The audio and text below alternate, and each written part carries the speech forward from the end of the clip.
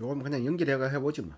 매출액이 이게 그러니까 17년 거를 쭉 보니까 그냥 530억, 660억, 830억, 850억 꾸준히 증가하고 있어요. 괜찮아요. 영업이익도 140억, 190억, 230억, 232억 꾸준히 증가하고 있어요. 괜찮아요. 요거만 두 개만 봤을 때 아주 괜찮아요. 나 회사가 정체된 줄 알았는데 괜찮아요. 그러면 다른 말로 말해서 그러면 어, 판관비 이런 것들이 꾸준했으니까 원가는 최대한 잡고 있으면서 매출은 증가, 증대시켰다. 좋게 말하면 그렇게 볼 수 있겠지. 맞나? 아니 말고. 자, 보자. 영업이익률, 영업이익률이 대단해. 화장품이 그러니까 고부가 같이 말하 26%, 28%, 28%, 27%. 순이익률이 100원짜리 팔면 20, 20원이 남는 거야. 현대차 순이익률 행편없을 걸. 그건 제조업체니까. 23, 23%, 23%, 22% 엄청나죠 이거. 나 이것만 봤을 때는 작살나지. 부채 비율 10몇 프로. 요번에 30몇 프로 됐으기라. 당좌 비율, 당장 현금으로 쓸 수 있는 게 700% 이렇게 19년도에 엄청나다니까 이거 유보율은 쌓아둔 거, 자금을 쌓아둔 게 이런 것들. 그러니까 부채 쪽으로 신경 쓸 필요 없어. EPS는 2,359원을 예상하고 있고 PER은 12, 원래 12 예상하고 있고 EPS, 아 BPS는 book value price share 15,208원 나누면은 2네 어, 주당 배당금이 700, 750원, 작년까지 750원. 17년대에 500원 줬네. 야.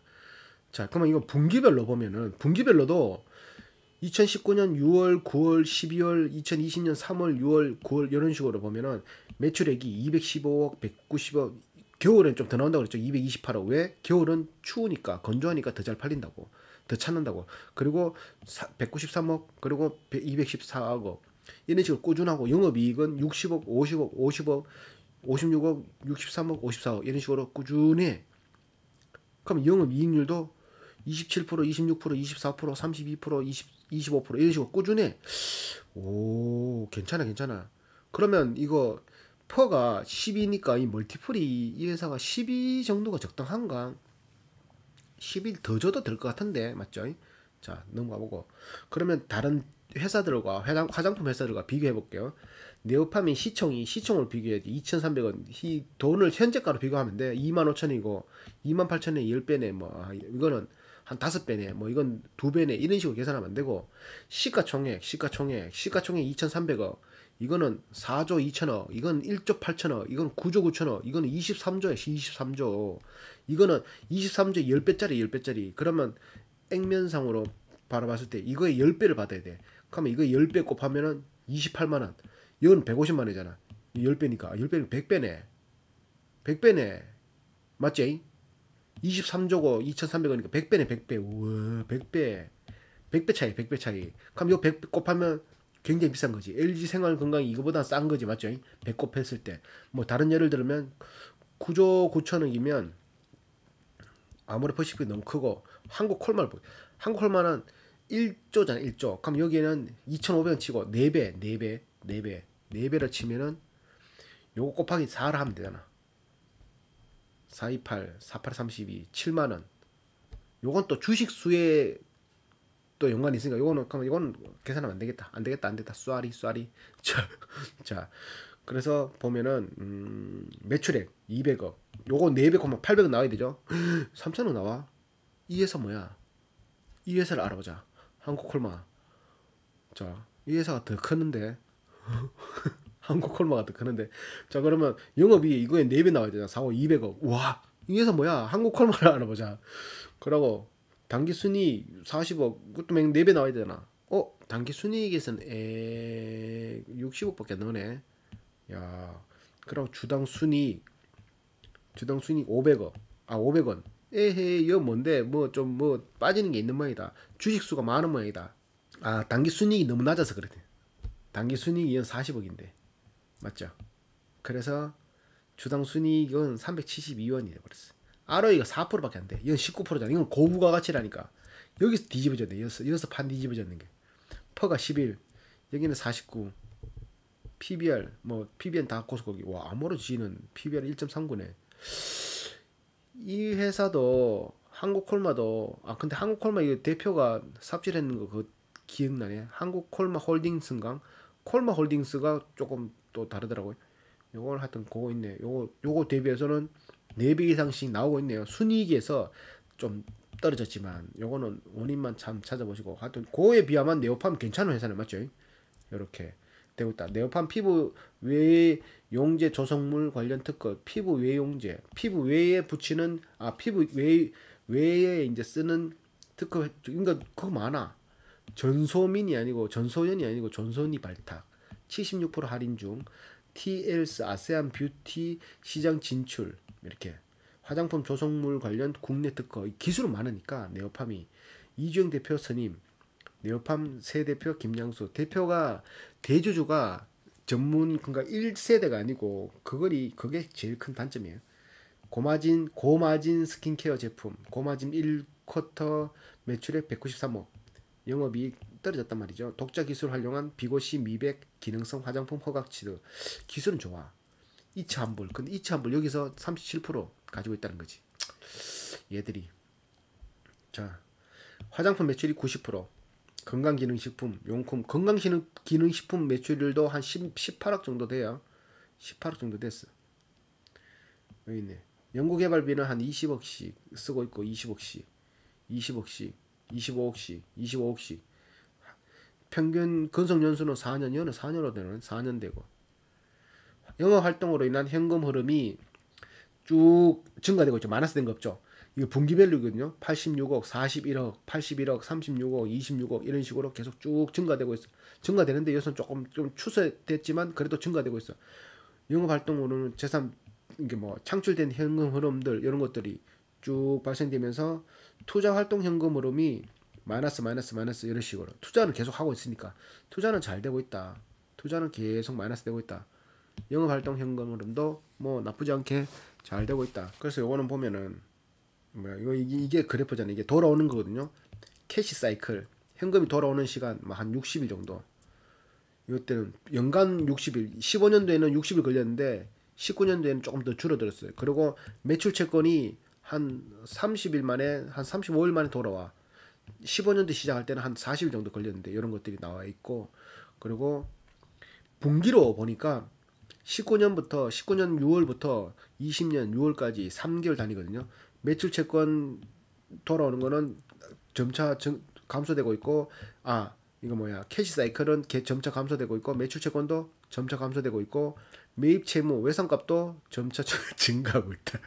매입 채무 외상값은 매상값 주는 거는 늦추고 있다. 아야 빠꼼하네. 빠꼼하다. 빠꼼하다. 요 ROA하고 ROIC 이런 것도 나중에 한번 알아볼게요. 별로 관심이 없어가 이거 안 알아봤는데 영업이익률 하여튼 영업이익률이 너무 높아 좋아 순이익률도 좋고 영업이익률이 좋아요. 이게 고부가 가치 화장품이라 그런 것 같아. 다른 화장품에서는 볼 수 없는. 그래서 뭐 투자 여기는 buy인데 이런 건 볼 필요 없어요. 얘들은 buy 뭐 holding 뭐 팔아라 이런 말 절대 안 하잖아. 잘 안 하잖아. 웬만하면 안 하잖아. 미국인 애들은 하는데 sell, bull, 막 bull, bull, bull, bull 상태, 베어 상태 막 이렇게 하잖아. 민감성 피부 스킨케어 14년 연속 1위. 요 매출액 꾸준히 나왔었고 부채 비율 15%, ROE 17%, 퍼 12% 요걸 계산해 보면은 뭐 그냥 적정 주가 예전에 계산하는 대로 계산하면 EPS 곱하기 어 멀티플이잖아. ROE잖아. 지금 EPS 얼마야? 2359원 2359 곱하기 ROE ROE 어딨나?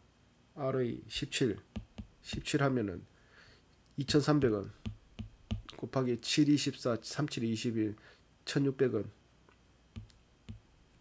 39,000원. 39,000원 지금 28,000원. 싸다라고 말할 수 있는데 어 싸다고 멀티플을 17까지 말고 10만 줘도 10만 줘도 10만 주면은 적정하네. 10은 더 줘야지 기능성이니까 맞죠 그런 식으로 계산 스스로, 스스로 계산해 보면 될 것 같아요. 자 매출액 이런 식으로 증가되는 거 나왔고 매출 총이익도 증가되는 거 나왔고 판매 관리비 어 판매 관리비가 17년부터 있네. 260억 18년도 290억 19년도 370억. 여기 왜 370억이지? 2010, 2020년도에 170억이니까 곱하기 2 하면은 340억 정도 되네. 판관비가 260억 290억 판관비도 점차 증가하고 있네. 조금씩 조금씩 증가하고 있네 매출 총이익도 증가하고 전반적으로 다 증가하고 있네 내가 너무 삐딱하게 봤나? 내가 너무 삐딱하게 봤나? 아닌데 느낌은 그랬는데 느낌은 그랬는데 내가 너무 삐딱하게 봤네. 영업이익도 꾸준히 이 수치만 봤을 땐 증가하고 있고 오호 그런가? 그럼 중국 지금 코로나 때문에 잘 방어하고 있다고 봐야 되나? 자산, 부채, 자본 볼 거고 이거 영업으로 인한 활동, 현금 활동 17년도에 100억, 18년도에 160억, 19년도에 192억 여기에 63억 곱하기 2를 하면 그냥 한 120억 꾸준히 증가하고 있어요. 이때 사드 문제 터져가지고 중국 그거 떨어졌는데 얘들은 뭐 수출이 별로 없으니까 이때 하기사 해외 지사 상하이 지사 차렸고 17년도에 차렸나 한 군데가 기억이 갑자기 안 나네. 하여튼 그러니까 뭐 매출은 영업 활동은 잘하고 있고 투자 활동도 잘하고 있고 재무 활동도 잘 갖고 있다. 배당금도 좋다. 주주 입장에서는 좋은데 이 주주 그래 마무리 지으면은 들었던 생각이 이게 이거 우리 구독자님의 요청으로 화장품 회사를 하나 이제 알아보는데 매출이 안 나온다. 그러면 중국 때문에 그런 거 아니냐 하니까 국내 매출이 커가지고 중국은 아닌 것 같다라고 해가지고 그 점 위주로 계속 부정적인 점을 찾으려고 봤는데 영업이익률 20% 넘어가고 ROE도 10% 중반대 나오고 부채율도 14% 정도 돈도 많고 잉여 자금도 많고 원래는 재고가 제품 재고가 30억이 쌓여 있어서 이때까지 제품 재고를 그만큼 쌓였던 적이 없었는데 그러면 원래 변수는 코로나가 있었고 원래 중국 뭐, 뭐 중국 매출 별로 없었으니까 코로나가 있었는데 재고, 제품 매출이 그리고 공장 가동률이 30% 정도밖에 안 돼. 공장 가동률 30% 정도. 공장은 원래 가동 안 되고 있었어. 그럼 공장 가동을 안 하고 있는데 제품이 저만큼 쌓였던 거야? 애매하니까 이건 애매하고 대주 그래서 제가 봤던 시선은 대주주가 한불 화장품 이게 한불 화장품 한병철이라는 분이 대표인데 이분이 어 인수 합병을 하면서 700을 들여가지고 한 200, 200만 주를 사서 지금 300만 주를 가지고 37%의 대주주가 됐는데 이 대주주로서 배당금이 500원, 700원, 750원을 불어났어요. 17년에 배당금이 한 주당 500원, 18년에 17년에 500원, 18년에 700원, 19년에 750원 이런 식으로 배당금이 불어서 배당금 굉장히 높죠.